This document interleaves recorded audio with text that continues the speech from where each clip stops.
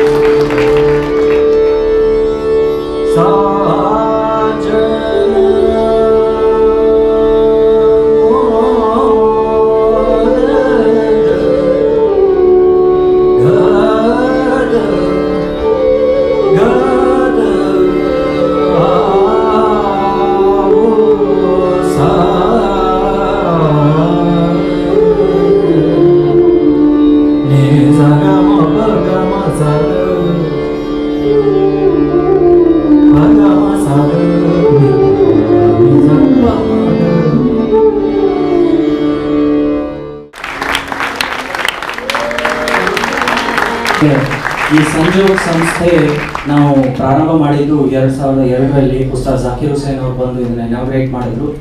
ನಮ್ಮ ಅವಾಗಲಿಂದ ನಮ್ಮ ತಂದೆಯವರು ನಡ್ಸ್ಕೊಂಡು ಬಂದರು. ಅವಾಗಲಿಂದ ಇವಾಗಿನವರೆಗೂ ಆ ಸಂಘಟನೆಯನ್ನ ಗಟ್ಟಿಯಾಗಿ ಹಿಡಿದಿದ್ದು ನಮ್ಮ ತಾಯಿ ಹಾಗೂ ನನ್ನ ಪತ್ನಿ ಸಾಲಿಕ್ ಅವರು. ಇವರಿಗೂ ಆ ಸಂಸ್ಥೆಯನ್ನ ಬೆಳೆಸಿದ್ದಾರೆ ನಾವು ಬರೀ ಪಾಠ ಹೇಳ್ತೀವಿ ಬಟ್ ಮಿಕ್ಕಿದ್ದೆಲ್ಲ ನೋಡ್ಕೋಬೇಕಲ್ಲ. ಬಂದಾಗ ಹುಡುಗರಿಗೆ ಕೆಲಸಕ್ಕೆ ಚಹಾ ಕೊಡಬೇಕು, ಅವಲಕ್ಕಿ ಕೊಡಬೇಕು ಏನಾರು ಮಾಡಿ ಅನ್ನಿಸ್ಬೇಕು ಕೆಲಸಕ್ಕೆ. ಅವ್ರು ಸೆಟ್ಕೊಂಡಿರ್ತಾರೆ ಸಣ್ಣ ಸಣ್ಣ ಹುಡುಗರು ಇರ್ತಾವೆ ಹುಚ್ಚಿಗೆ ಹೋಗ್ಬೇಕು ಅವನ್ನೆಲ್ಲ ಮ್ಯಾನೇಜ್ ಮಾಡಿ ಅದನ್ನೆಲ್ಲ ಮಾಡಿರೋದು ಇವರ ನಮ್ಮ ತಾಯಿ ಸಾಕಷ್ಟು ವರ್ಷ ಮಾಡಿದ್ರು. ಈಗ ನಮ್ಮ ಮನೆಯಲ್ಲಿ ಪಾಠ ನಡೀತಾ ಇರೋದ್ರಿಂದ ಸಾರಿಕಾ ಮಾಡ್ಲಿರ್ತಾರೆ ಅದನ್ನು ಸೊ ನಿಮ್ಮಲ್ಲಿ ಯಾರಾದರೂ ಇನ್ನಷ್ಟು ಮಕ್ಕಳು ಯಾರಾದರೂ ಸೇರ್ಕೋಬೇಕು ಅಂದರೆ contact one of these uh, white kurta people. They'll help you.